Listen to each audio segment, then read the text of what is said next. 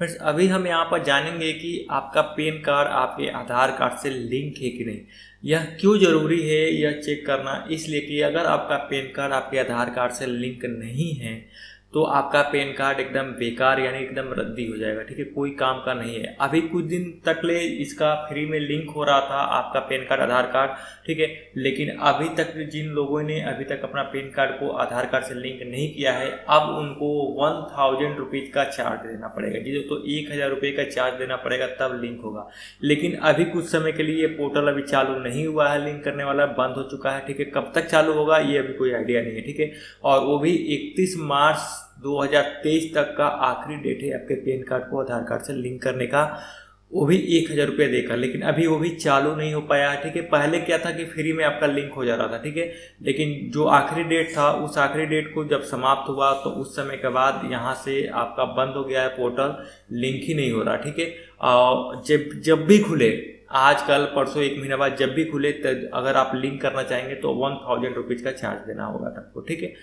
और वो भी इकतीस मार्च सन दो हज़ार तेईस तक थे तो चलिए, अभी आपको यहाँ पर वो तो पोर्टल चालू नहीं है लिंक करने का, नहीं तो मैं आपको दिखा दूँगा कैसे लिंक होगा, जैसे चालू होगा, मैं आपको अपडेट करूँगा।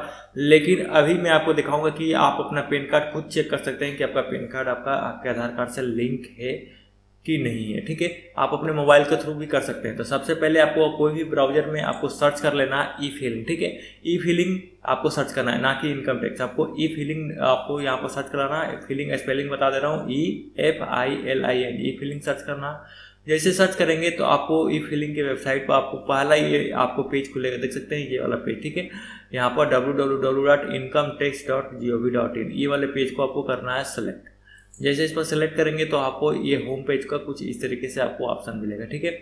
तो अब आपको करना क्या हो, आपको दिखा देते हैं। आपको सिंपल सा, आपको यहाँ पर देख पाएँगे, यहाँ पर नीचे स्क्रॉल डाउन करेंगे तो आपका यहाँ पर देखिए आपको ऑप्शन मिलेगा। यहाँ लिंक आधार स्टेटस स्टेटस देख सकते हैं। यहाँ से आपको लिंक आधार कर सकते हैं, लेकिन ये वेबसाइट अभी ये बंद है पोर्टल देखिए लिंक नहीं हो रहा। लेकिन अगर आपको चेक करना तो लिंक आधार स्टेटस पर करना होगा क्लिक तो चलिए मैं यहाँ पर क्लिक करता हूँ और यहाँ पर क्लिक करने के बाद देखते हैं अगला ऑप्शन क्या होता है। आपके सामने सब कुछ दिखाऊँगा दोस्तों, ठीक है? यहाँ पर देख पाएँगे, यहाँ पर मैंने आधार कार्ड से जो लिंक करने का ऑप्शन है आपको आ गया। चेक करने का आपको अपना पेन कार्ड नंबर यहाँ पर इंटर करना होगा कैपिटल लेटर में, ठीक है? तो चलिए मैं यहाँ पर अपना पेन कार्ड नंबर यहाँ पर इंटर कर देता हूँ, उसके बाद का आपको प्रोसेस आपको दिखाता हूँ। पैन कार्ड नंबर डाल दिया, उसके बाद आपको डालना होगा आधार नंबर तो चलिए आधार नंबर मैं यहाँ पर इंटर कर देता हूँ। नंबर यहाँ पर इंटर कर दिया, ठीक है?